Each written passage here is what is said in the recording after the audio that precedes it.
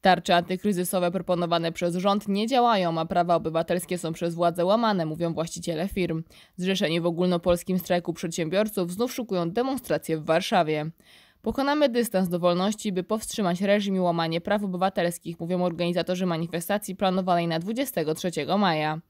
Tłumienie ubiegłotygodniowej manifestacji przez policję na Placu Zamkowym i ulicach Warszawy przypomniało sceny ze stanu wojennego w Polsce. Pacyfikowanie protestów sprzed 40 lat temu pokazało, że im brutalniejsza policja, tym determinacja manifestujących większa.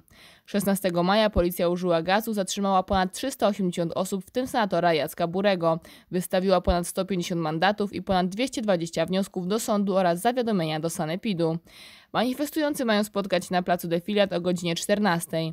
Protestować zachowaniem dwumetrowej odległości między sobą. Podobnie jak w ubiegłym tygodniu weźmie w niej udział grupa przedsiębiorców z Leszna.